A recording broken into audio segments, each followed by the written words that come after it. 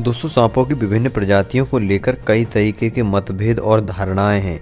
कई सांपों के बारे में कहा जाता है कि उन्हें देखने मात्र से ही लोगों की मनोकामनाएँ पूर्ण हो जाती हैं। अभी हाल ही में मध्य प्रदेश के इंदौर में भी एक लाल रंग का सांप मिला। इसके दिखाई देने के बाद आम लोगों के बीच काफ़ी चर्चा का विषय बन गया। दरअसल, इंदौर शहर शहर के देवास नाका क्षेत्र में उस समय लोगों के आश्चर्य का ठिकाना नहीं रहा, जब उन्होंने सिंगापुर टाउनशिप के पीछे नाले के पास लाल रंग के एक सांप को रेंगते हुए देखा। लोग इसलिए चौंक गए कि आमतौर पर लाल रंग का सांप देखने को नहीं मिलता है। इस दुर्लभ सांप को देखने के बाद किसी व्यक्ति ने इंदौर के प्राणी संग्रहालय में फ़ोन कर दिया। उसके बाद वहाँ से लोग आए और उस सांप को पकड़कर ले गए। यह दुर्लभ सांप लोगों में कौतूहल का विषय बना हुआ है। सोशल मीडिया पर भी इस रंगीन सांप के चर्चे हो गए हैं। इतना ही नहीं है अफवाह भी शुरू हो गई है कि इस तरह के सांप के दर्शन करने और छूने से सभी मनोकामनाएँ पूर्ण हो जाती हैं। रिपोर्ट के अनुसार जब प्राणी संग्रहालय के लोगों ने इस सांप की जाँच की तो पता चला कि यह रसल वाइपर प्रजाति का सांप है। दरअसल किसी व्यक्ति ने इस सांप पर लाल रंग डाल दिया था, या फिर शायद यह सांप किसी लाल रंग के डब्बे में गिर गया होगा।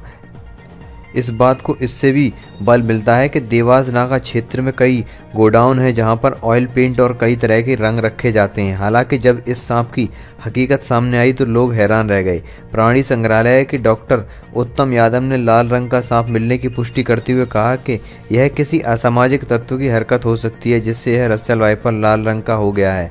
उन्होंने इस बात को भी सिरे से नकार दिया है कि इसके छूने और देखने से सभी की मनोकामनाएँ पूर्ण हो जाती हैं। उन्होंने कहा है कि इस के अंधविश्वास से बाहर निकलिए, क्योंकि ऐसा कुछ नहीं होता है।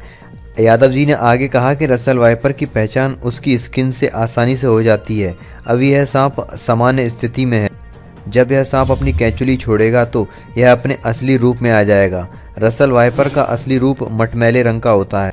जब इसकी यह कैंचली उतर जाएगी तो इसका असली रंग आ जाएगा।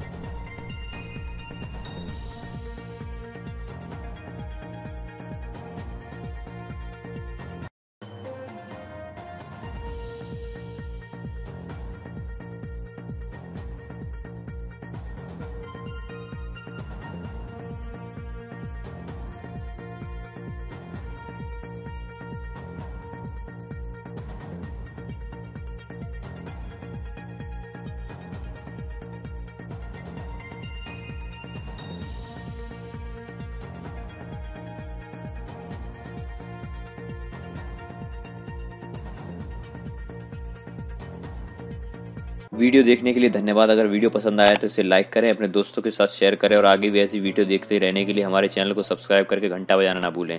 धन्यवाद, आपका दिन शुभ